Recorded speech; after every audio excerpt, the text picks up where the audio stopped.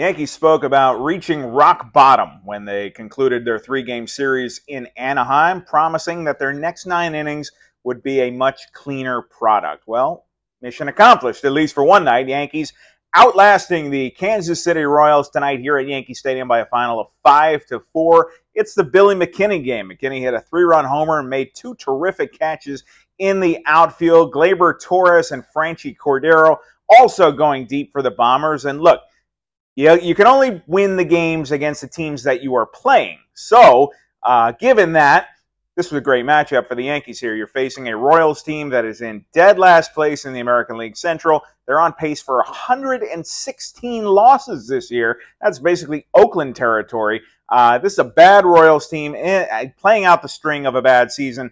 But it seemed like it might be just the kind of team that could upset the Yankees here, especially coming off their one and five road trip, of course, to Denver and the Angels. Well, McKinney did a nice job of keeping some runs off the board early, made a nice sliding grab out in the left center field gap behind Clarke Schmidt, then climbed the right field wall. I don't think he took away a home run, but he definitely took away an extra base hit, a leaping grab in right center field. That one with Wandy Peralta on the mound later in the game. And of course, the three run homer, which put the Yanks back in the game after Clarke Schmidt gave up a three run homer early. So Schmidt hangs in there for five and two thirds innings. He gets the W. He was actually the Yankees' winning pitcher in their last victory. You got to go all the way back to Saturday in Colorado, which feels like it was like 20 years ago.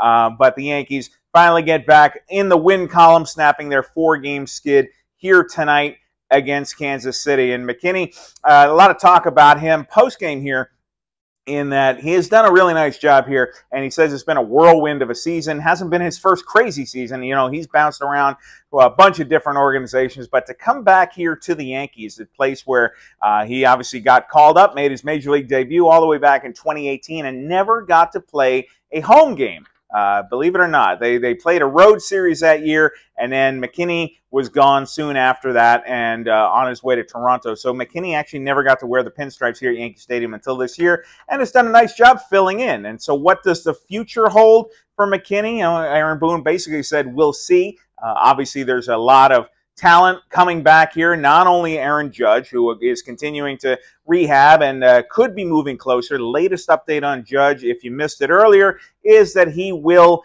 uh, take live at bats on Sunday against Jonathan Loaisiga here at the stadium. So we will make sure to tune in for that because that's the first time he's faced pitching since June 3rd, anything more than a batting practice toss. So that will be a big step for Judge. And what's next after that?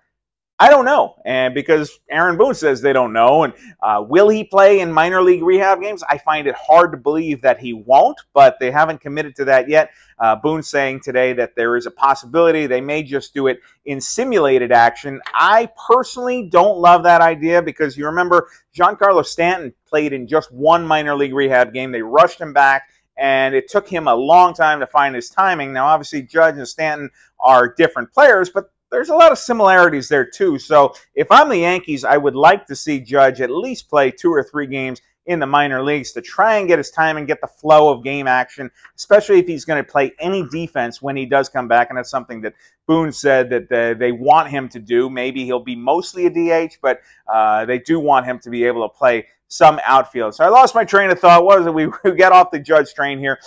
Billy McKinney. So where does he fit in uh, with Judge coming back, with Jake Bauers coming back, with uh, Willie Calhoun coming back. You got a lot of players coming up, and so we'll see. But he did say that McKinney has earned a spot to merit consideration either on the in the lineup or on the bench on the roster somewhere. So uh, Billy McKinney with a nice game. The Yankees with a bounce back game. Now they got to try and make it two in a row. Yankees and the Royals coming up here at the stadium tomorrow afternoon. That's the Hochy Pokey. That's what it's all about from Yankee Stadium. Your final score, once again, is the Yankees 5 and the Royals 4. See ya.